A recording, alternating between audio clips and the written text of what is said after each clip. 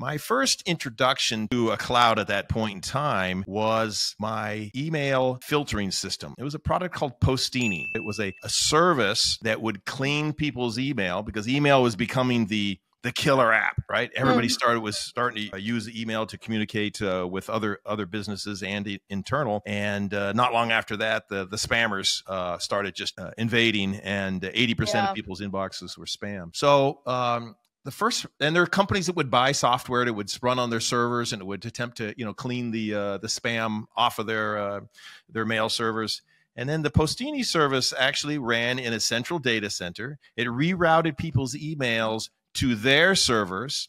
They would look and clean out the emails and remove all the spam and malware and then send clean, valid emails on through to the end users.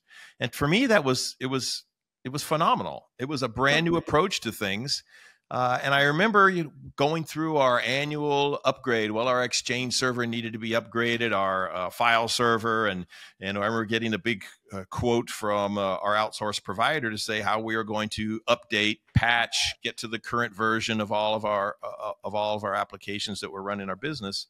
And I remember asking, well, what about this Postini? And they said, oh, you know postini is uh, it's a service. You don't really ever have to worry about that. It's always updated. It's always it's being managed on its own. And i just thought back from and said you know that makes a lot of sense. Why am i hosting all this here when there appears to be options for me to move to the same type of technology